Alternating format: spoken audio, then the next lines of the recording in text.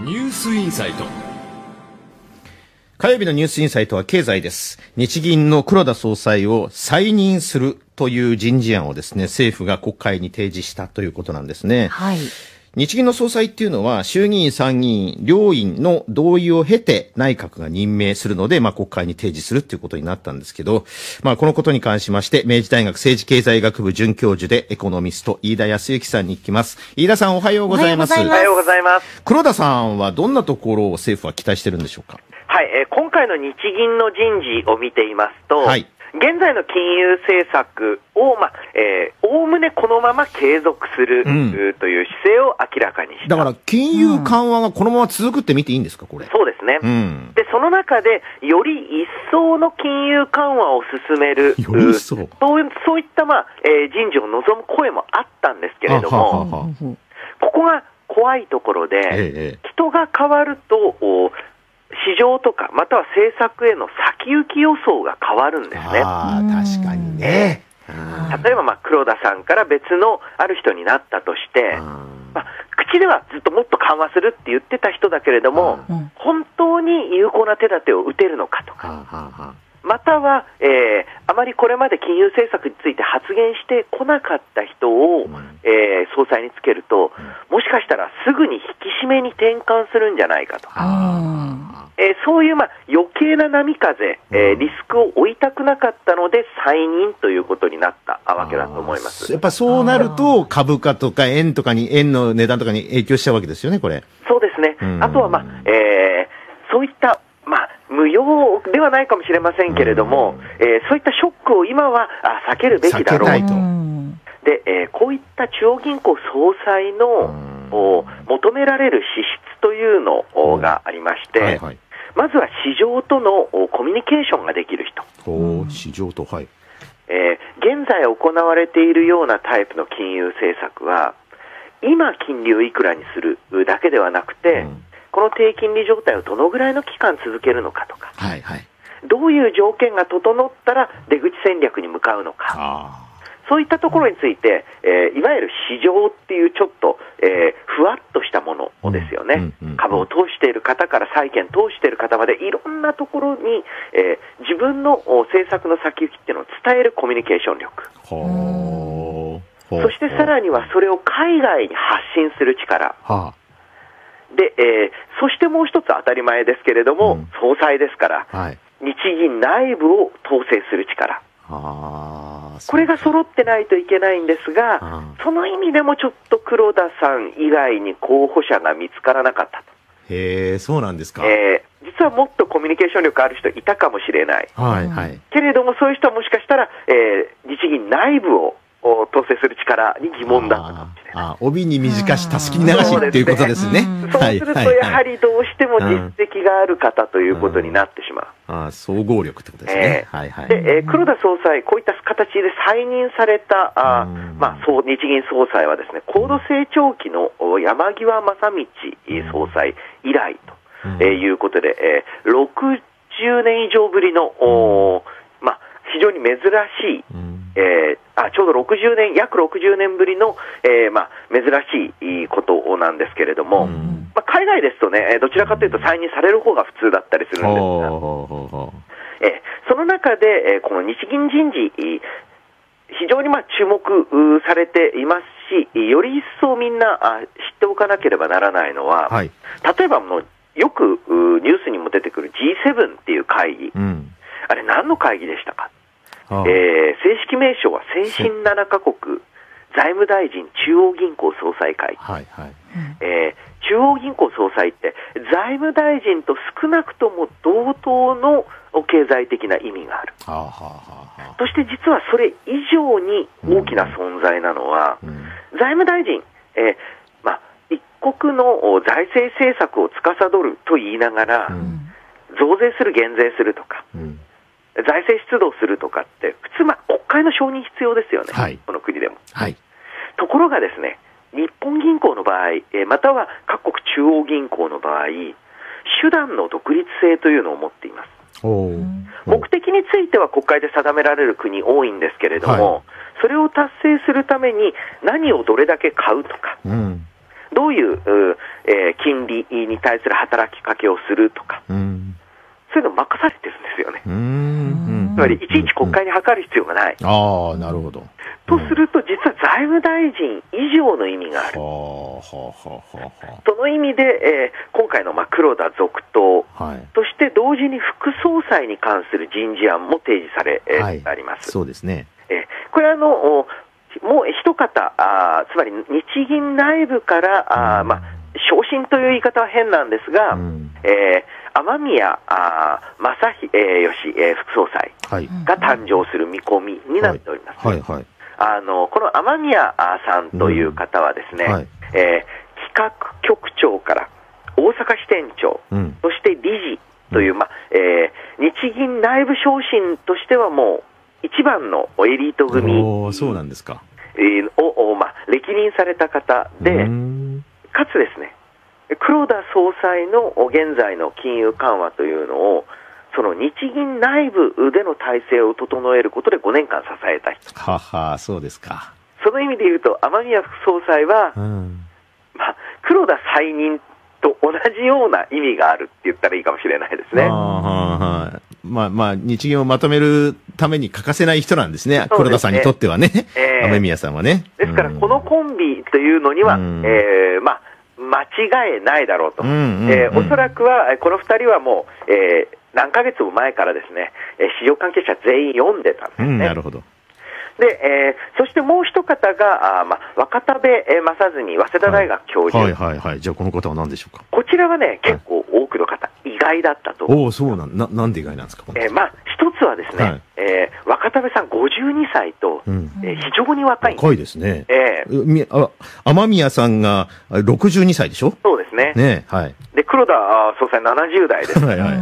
え非常に、えー若いですし、歴代で見てもちょっと52で副総裁っていうのはかなり、へえ。時代を遡らない。異例の抜擢なんですね、じゃあ。ええうんうんでそしてもう一つは、えー理論家というよりは歴史家に近いうん。方歴史家？歴史家？おう経済のお歴史とか、経済思想の歴史をやられて、えー研究されていた先生、えーですのでう。ん、むしろですね、細かい理論的なあ部分というよりは、大きな、あの、長い歴中央銀行の歴史の中で、えーどういった経験が行われてきたのか、はあ。というのを反映したいと。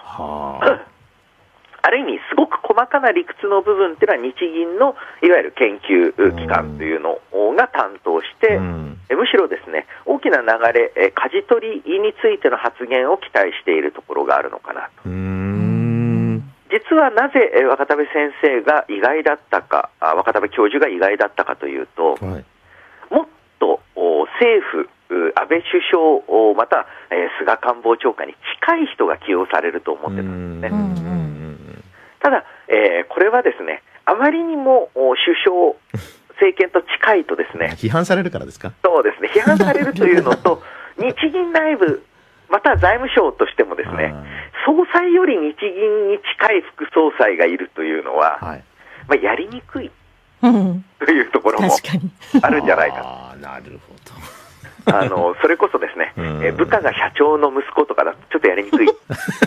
あの、えーそういった形で、ある程度、おいわゆる政権とのお主張自体は、あ若田部えー先生は、えーこれぞリフレ派、あいわゆる黒田日銀の、えー金融緩和路線をより強力に推し進めるべしなんですけれども、その一方で政治的には、えー比較的中立的。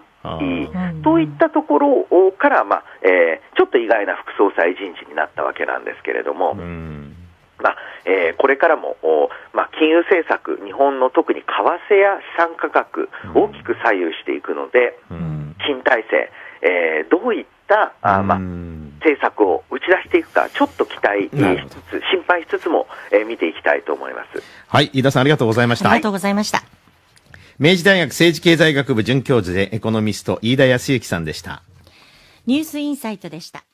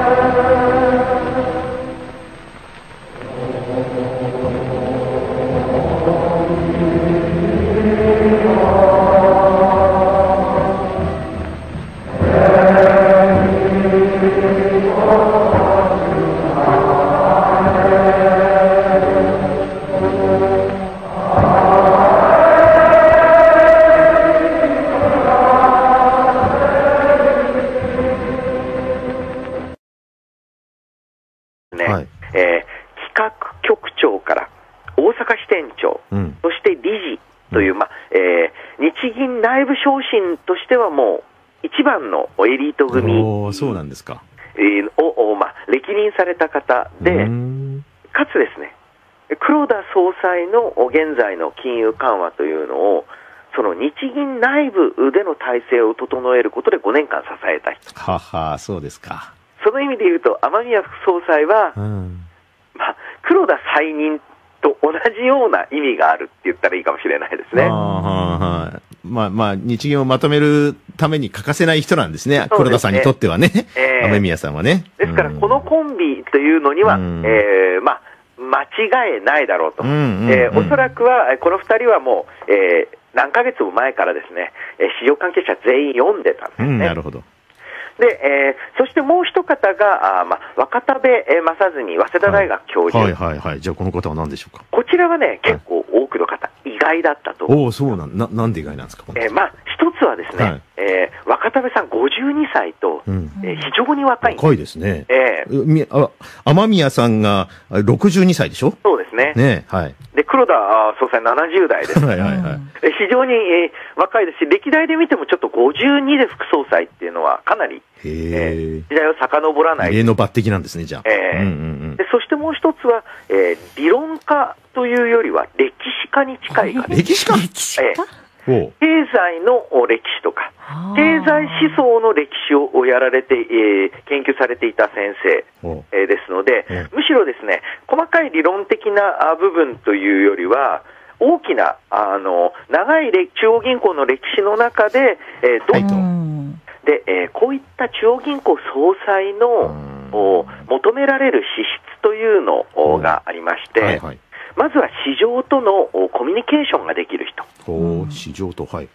えー現在行われているようなタイプの金融政策は、今金利をいくらにするだけではなくて、うんこの低金利状態をどのぐらいの期間続けるのかとか、はいはい。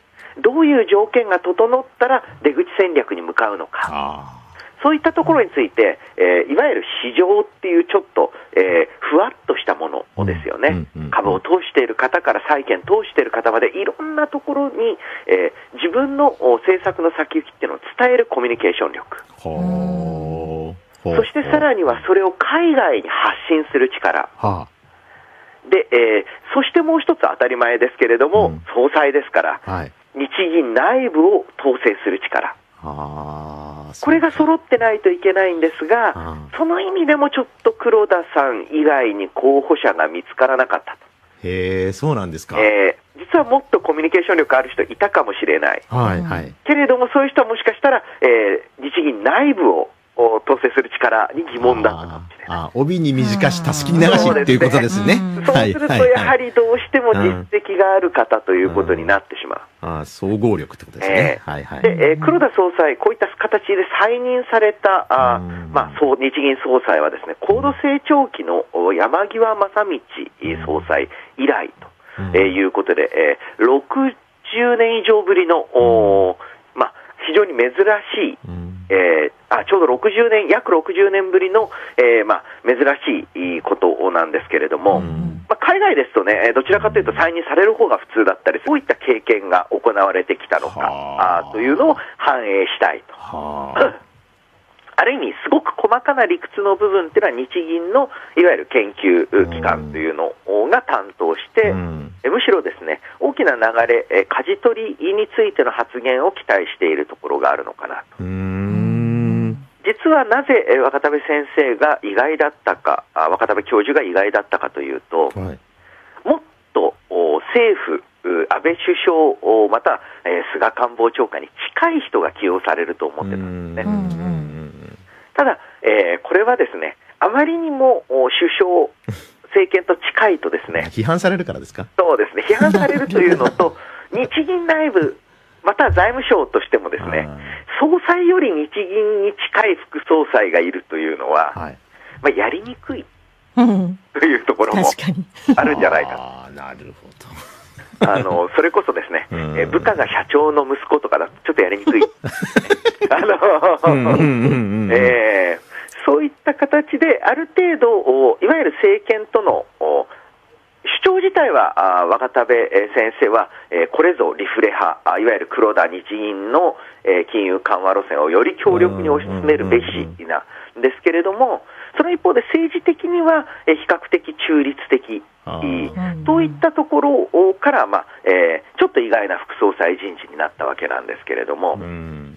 まあえーこれからも、おまあ、金融政策、日本の特に為替や資産価格、大きく左右していくので、うん。新体制、えーどういったあ、まあ、うん政策を打ち出していくか、ちょっと期待しつつ、心配しつつも、えー見ていきたいと思います。はい、飯田さんありがとうございました。ありがとうございました。ニュースインサイト火曜日のニュースインサイトは経済です。日銀の黒田総裁を再任するという人事案をですね、政府が国会に提示したということなんですね。はい。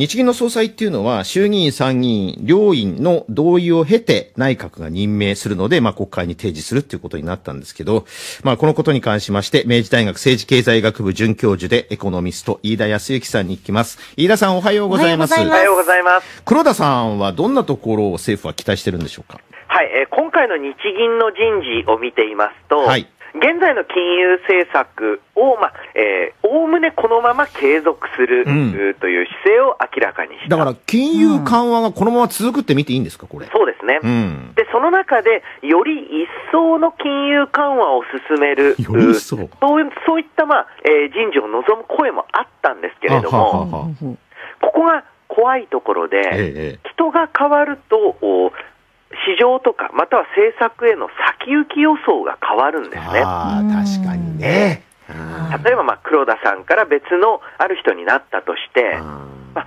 口ではずっともっと緩和するって言ってた人だけれども、うん。本当に有効な手立てを打てるのかとか、または、えーあまりこれまで金融政策について発言してこなかった人を、んえー総裁につけると、もしかしたらすぐに引き締めに転換するんじゃないかと。あえーそういう、まあ、余計な波風、えーリスクを負いたくなかったので、再任ということになったわけだと思います。やっぱそうなると、株価とか円とかに、円の値段とかに影響しちゃうわけですよね、これ。そうですね。うん。あとは、まあ、えーそういった、まあ、無用ではないかもしれませんけれども、えーそういったショックを今はあ避けるべきだろう。とその中で、えーこの日銀人事、えー非常にまあ注目うされていますし、より一層みんなあ知っておかなければならないのは、うはい。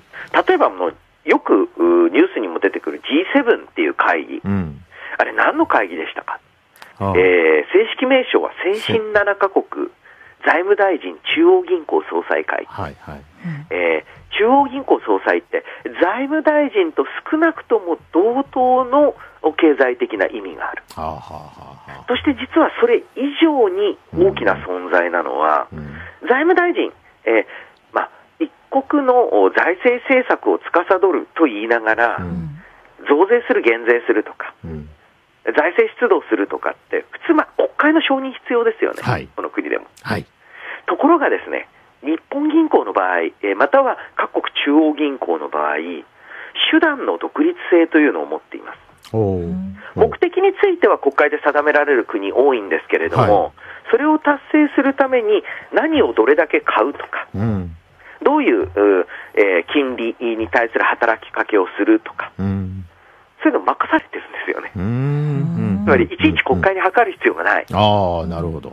とすると、実は財務大臣以上の意味がある。その意味で、えー今回のまあ黒田続投、あ。はい。そして同時に副総裁に関する人事案も提示され、えーはいあります。そうですね。えーこれはあの、おもう一方、あーつまり日銀内部から、あーまあ、昇進という言い方は変なんですが、うんえー雨宮あー正ひ、えー義、えー副総裁はい。が誕生する見込みになっております。はい、はい。